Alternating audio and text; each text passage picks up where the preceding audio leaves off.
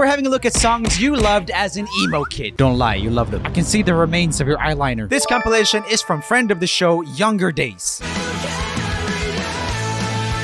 Yes, this is the defining emo song for this generation.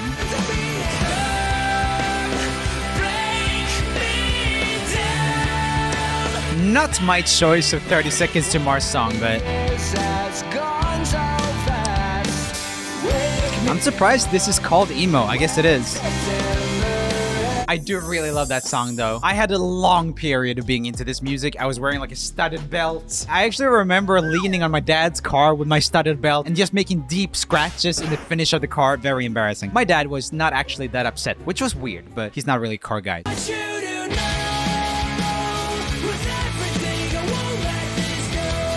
I feel like a fake emo fan. I haven't heard this song.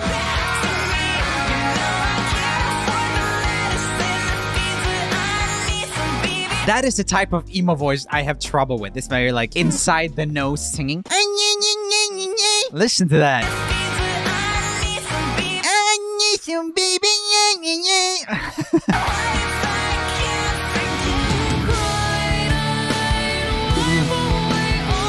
Hundred percent.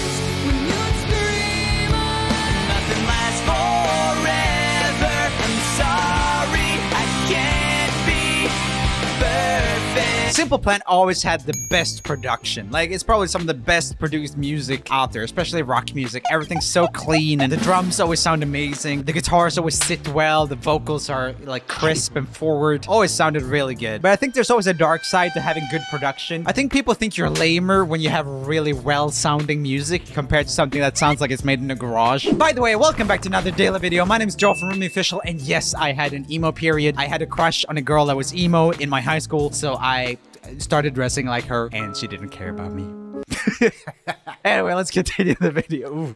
Ooh, ooh. Cringy memories, guys. Cringy memories. That sounds great too.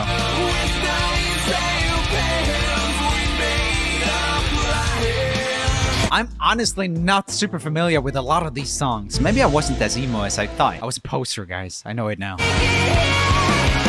Ah, this is crazy good. Hayley Williams has such a freaking voice. That is a high E flat. You don't really hear that. It sounds so effortless. I used to know you so well.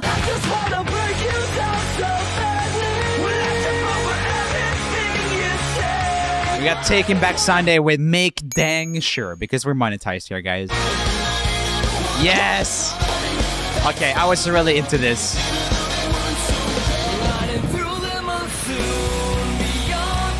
Oh yeah, Tokio Hotel.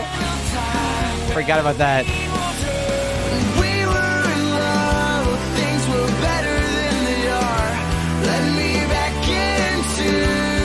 The main singer has that typical douchebag voice. There were so many singers like that when it came to radio rock and emo. It's the people who try to sound really cool. They are the first band on this list though to sound like that, but just listen to it.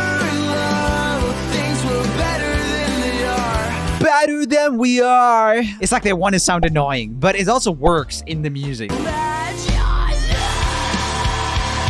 I know Dave likes this. My friend Dave from Boy in a Band, that is, if you're not familiar. He has a little bit of a heavier music taste than me. I'm obviously very pop and kind of pop emo. He is more metal slash some emo-ish stuff.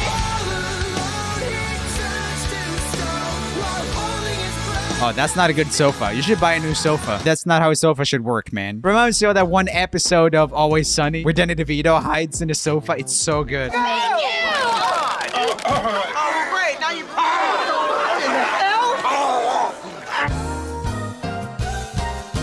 You gotta love it. He's a beautiful, beautiful man, and I love him so much.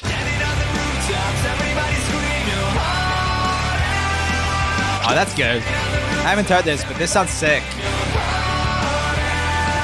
Really heavy guitars.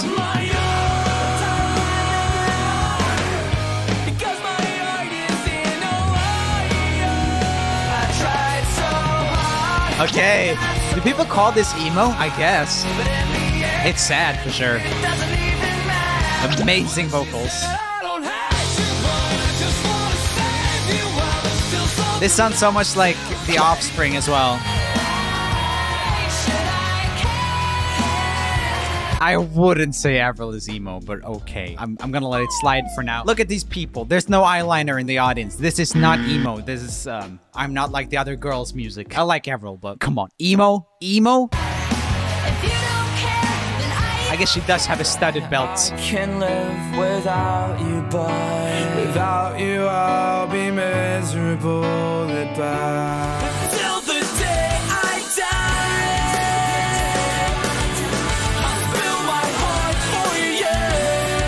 have never heard this. Let me know in the comments if you've heard all of these songs or if some of them are like, eh.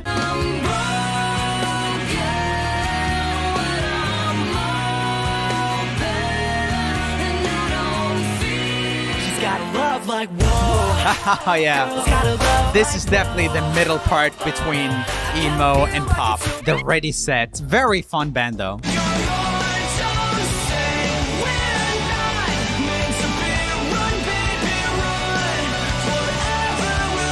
I remember being upset when some of the emo bands started doing stuff with more electronic drums and stuff. For example, the scene, the Fall Out Boy song, where they started having some electronic drums in some of the singles, and that bothered me. This ain't a scene, it's an arms race, right? They probably experimented with electronic stuff earlier, but this was when I was like, this isn't band music anymore.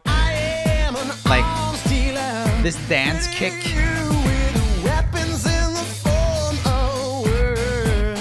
Mean, listening to it now, this is more interesting than just doing band music to me because they were experimenting with new sounds and making a new type of rock music. But at the time, I was like, how come they're not using real drums here? That's so bad.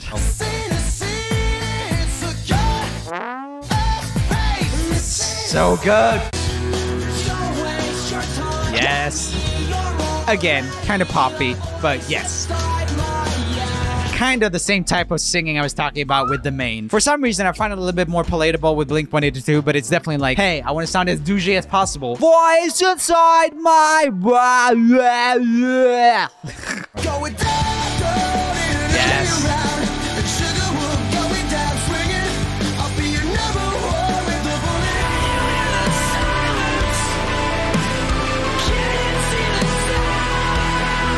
So sick. There's so many awesome music videos by Bring Me the Horizon. Oh wow. Hearing those two songs after each other, there's so little bass in Mr. Brightside. Do you guys notice that? The Bring Me the Horizon song is freaking fat. Like it's so mm, in the bass registry. And then you go to just nothing. It's just mid-range.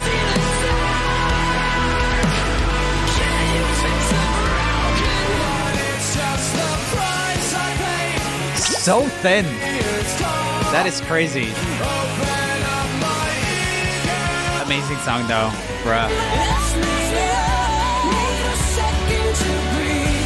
This might be the most commercial thing out of all of it. Like he came straight out of American Idol here. I would not connect him too much to emo culture. He does have the hair though. I'm gonna give him that. By the way, do you know what the modern version of emo is? It is, of course, Just For You by Lil Pitchy. Just listen.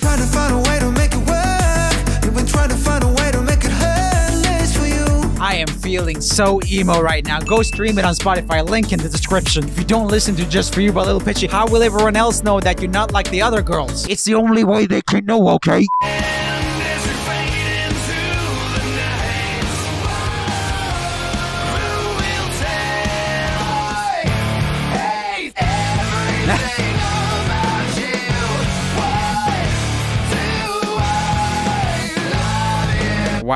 What a conflicted man. He hates everything about her, but he also loves her. That's so deep.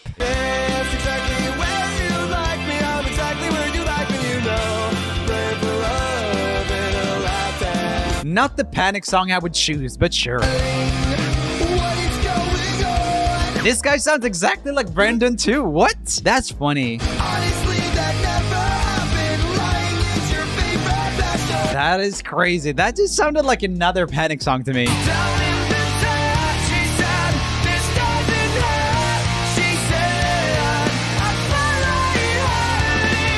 Wow, that sounded high.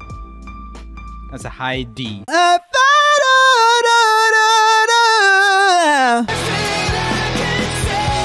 Ah, MCR. Still just the epitome of emo to me.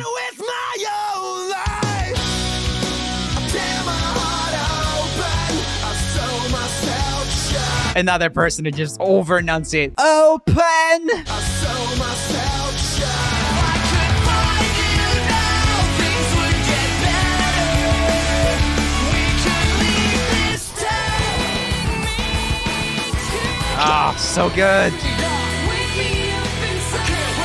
The mix of those clean vocals and that rap is amazing because it's so melodic and emotional at the same time. It's cool with the rapping. I think that's just incredible songwriting in this song.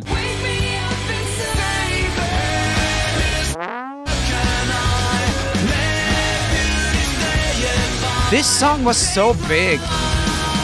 I think that's super underappreciated. Offie. I don't even remember their name, but like, what a freaking track. Maybe they're not even called Offie. Maybe it's AFI or something. I don't know, but that hook is stuck in my head. And I haven't heard it that many times. It's just catchy as heck. It's like Sarah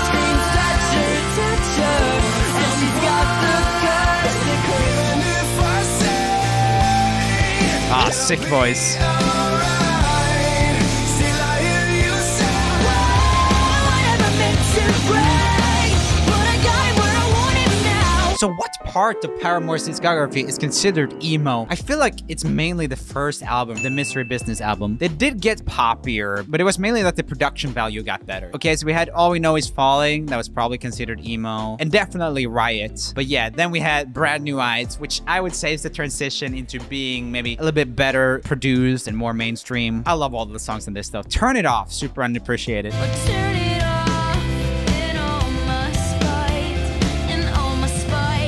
Better, we're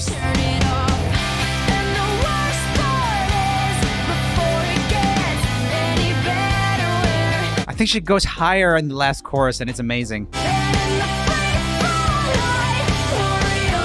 Freaking belting, she's amazing. Mm. gone. More you.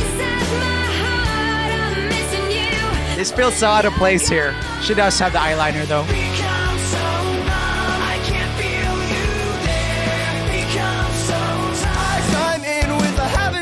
Here we go. Eyeliner Brendon. I mean, this is.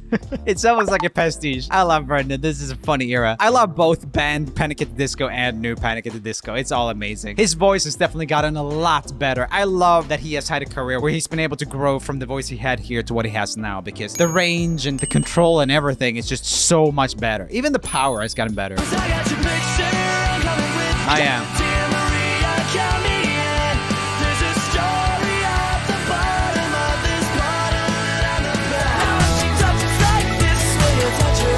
This was also part of the movement, at least for me, where there started to be more electronic drums in emo music. And yes, I was a drummer at the time as well, so I was a little bit like, eh, what are you guys doing? But it is very catchy. You also have a very obnoxious pronunciation of shake it. Shake, shake, shake, shake, shake. Shake, shake, shake, shake, a shake it! That was a lot of medication in there. That is about as many prescription drugs that I have on a normal Monday before I film the video to cope with the pain. Hashtag emo.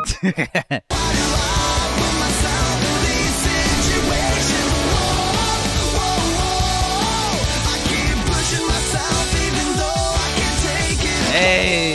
I think people maybe think of emo as a little bit more of a defined culture than it was. I think there was a bunch of different people thinking that different things were part of the culture. I'm sure there's a lot of emos out there that only listen to Avril Lavigne, and that is okay. However, I despise you.